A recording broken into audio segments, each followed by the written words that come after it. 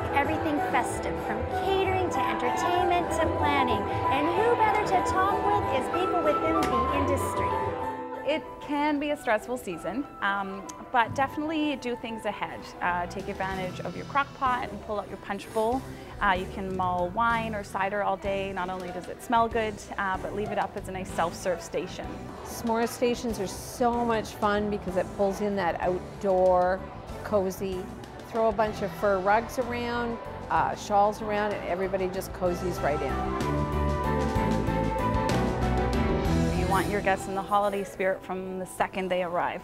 So you can stage your porch with blankets and boots and some fresh cut greenery and uh, just don't leave that decor in the living room and kitchen alone. So the more candles you can do, the better your event. You'll get more atmosphere. Add a fireplace in if you don't have one. Add your white trees, mini lights, lots of light fabrics. Something my mother's done for years is a uh, feather garland. And so you get a boa and you can tuck it in your tree or on your mantle and it really diffuses the light beautifully and it's a lot easier to wrestle than traditional ribbon. Florals, I'd stick with your big fluffy hydrangeas because they fill up bulk really easy. Um, you can do poinsettias, which are quite cost effective. Greens, lots and lots of the mixed greens. You don't need a lot of flowers. A lot of mixed greens and then a few orchids and you've got a beautiful centerpiece.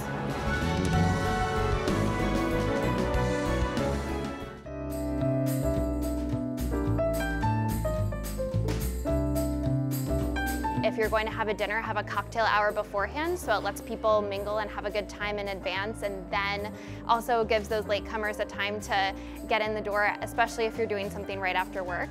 A lot of the local markets, especially in Victoria, make it super easy for you all in one section to prepare everything. You put it on a beautiful wooden cutting board and you're good to go for an The classic kind of comfort foods aren't going anywhere and they're great to make ahead. Anything from a mini mac and cheese cup to uh, anything with cheese seems to be very popular.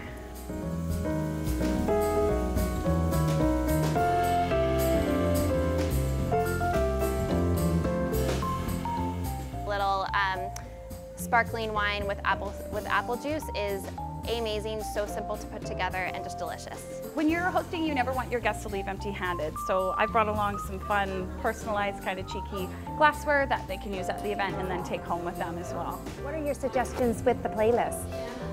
Well, you know, Christmas is all about nostalgia and kind of warming the embers in your in your heart a, a bit and making you feel like a kid again. So the throwbacks are always uh, quite nice, but you don't want to do too many throwbacks. It's always good to have some new music incorporated.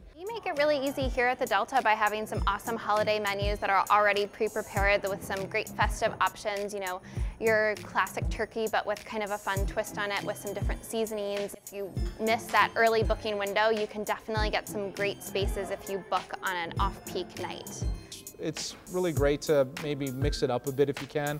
Um, maybe bring in a DJ who can also do um, trivia. Um, bring a DJ in who um, maybe also has a spin-off with some karaoke because people like to sing at Christmas time. You know, so find something that works for you and see if it works for the DJ.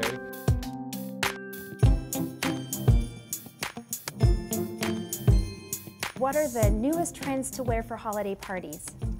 Oh, lots of sparkles and lace, um, dresses with little sheer bits and pieces.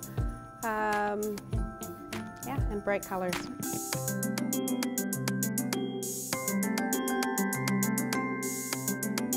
So Sharon, we're going to talk about holiday makeup. What is in for 2017? So for the upcoming holidays, for the eyes, gold glitter eyes.